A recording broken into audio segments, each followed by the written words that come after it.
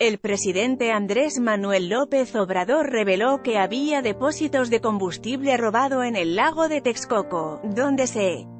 estaba construyendo el nuevo aeropuerto internacional de la Ciudad de México. Cuando se estaba construyendo el aeropuerto en Texcoco, en el lago, había depósitos de combustible robado en la obra comentó que en algunas comunidades del estado del Puebla, además de instalar sus propios ductos con gasolina robada, anunciaban la venta de huachicol con foquitos. Se llegó al extremo que en la carretera de Puebla con foquitos se alumbraba para señalar que había un depósito de gasolina robada y comprarla.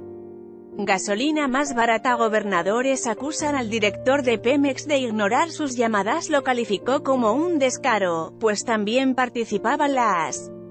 empresas que tenían contratos públicos con petróleos mexicanos pero era un descaro, esto que les estoy diciendo de que las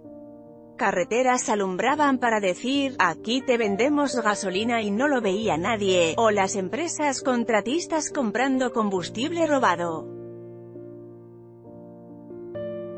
Empresas que recibían contratos del gobierno, comentó, sin embargo, apuntó que los mismos empresarios están ayudándolo con la distribución de los combustibles, así como en la estrategia de combate. Vamos avanzando porque nos están ayudando los trabajadores de Pemex, nos están ayudando los empresarios, nos están ayudando las autoridades, estoy recibiendo apoyo de presidentes municipales, de gobernadores y nos está ayudando el pueblo.